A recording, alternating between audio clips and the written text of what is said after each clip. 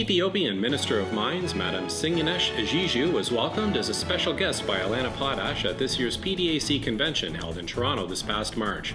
In this exclusive interview, the minister discusses what makes Ethiopia an attractive destination for foreign mining companies and what measures the country is taking to help junior miners to invest in Ethiopia. Ethiopia is clearly uh, pursuing in terms of um, clear policies and uh, strategies that are very transparent and uh, accountability is emphasized. And because of this uh, and in our strategy we have taken the private sector as an engine for our development. We know development is capital intensive. It needs technology. Because of this we invite the private sector to be our development partners. Therefore, this is the advantage. Clear policy strategy, no discretionary uh, issues, in, in, no vague issues. This is, uh, this is why it makes uh, you know, a priority for the private sector. What types of support is the Ethiopian government providing to boost mining investment in the country? In the first place, we clearly tell them our position is to take them as a development partners. And we also make it clear what we expect from them and what we facilitate.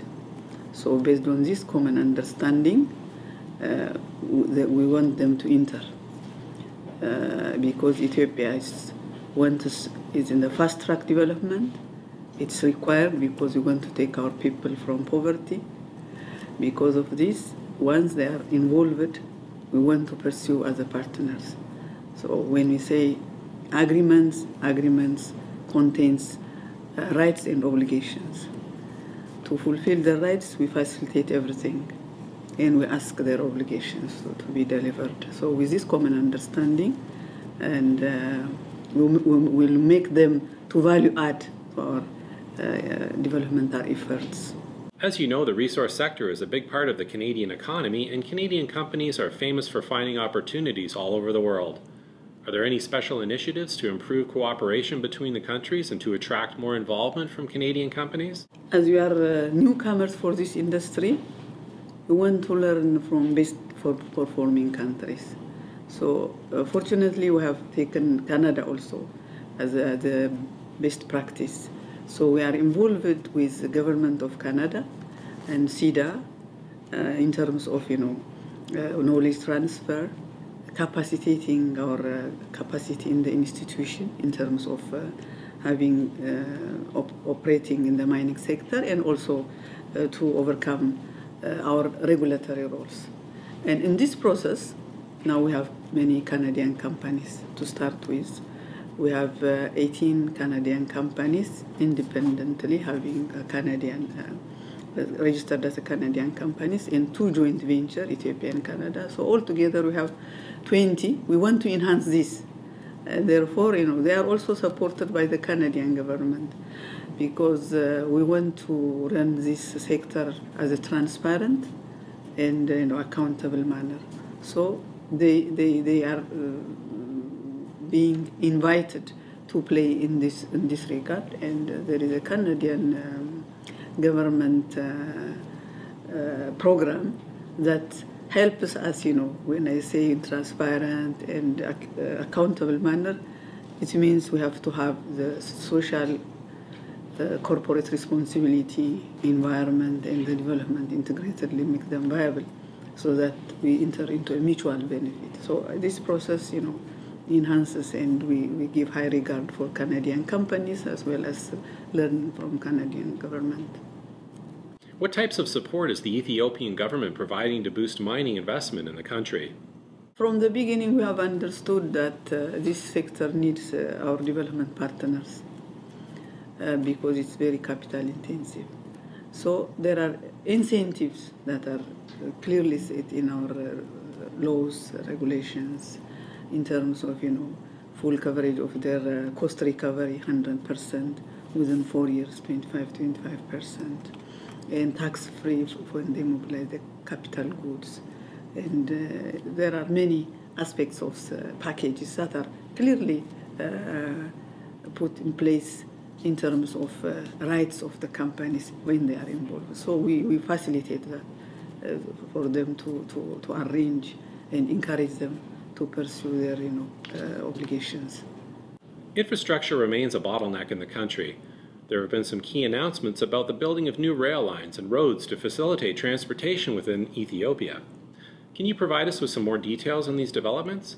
In terms of developing our country, my government has given a priority for infrastructure, for roads, for even electricity interconnections, not, not even uh, only in Ethiopia, but we are now we have started being connected with Djibouti. We are already connected with Sudan. We are already connected. We are also working on the infrastructure to be connected to Ethiopia power interconnections, and we know that as we advance our productivity uh, in terms of mining products, uh, monetization or transport is very important.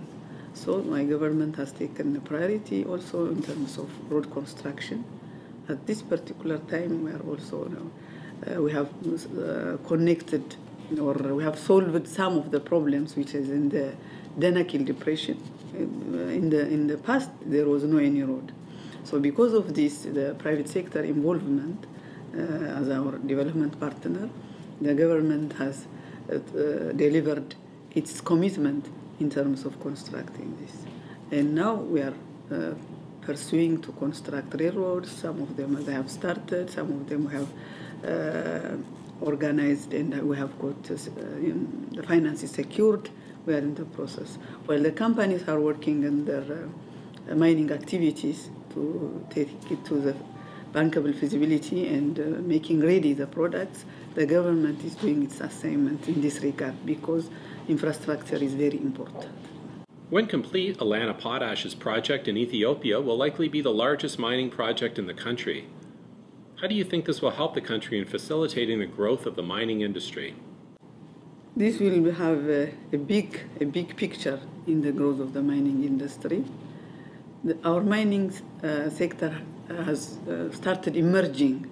Now the, my country is benefiting from the uh, gold production, from the tantalite production, from the colored stones. Our vision is also to be the backbone of the industry. Now this potash is in the industry, as well the fertilizer industry. So it will be a plus for our economic development. We are in the right track of development because we, we know we have to uh, fast track our development process in terms of economic growth. We have um, secured for the last nine years to be you know double digit growing. So when this is uh, you know in, uh, plus, it will be plus, and so it will sustain our fast growth development, and it will be very good to enhance our uh, country to, to, to take it out of poverty. Are you pleased with the progress so far at Allana's Danakil Potash project? What type of impact would a project such as this have on the local economy and employment? Uh, we are very pleased the way it is going. From the beginning, we want to work this type of uh, projects with a partnership. Now, we have found Allana to be a very uh, know, reputable company, uh, responsible, social corporate responsibility. They have started delivering in terms of working with the local people. They train also the local people. They also give opportunities even for the unskilled laborers. So this is uh, very good in terms of you know getting social license on the on the on the ground and at the same time enhancing the local economy and also subsequently the federal the country's economy. To get more great interviews with our experts, be sure to check the education tab on smallcappower.com and be the first to know by subscribing to our daily newsletter.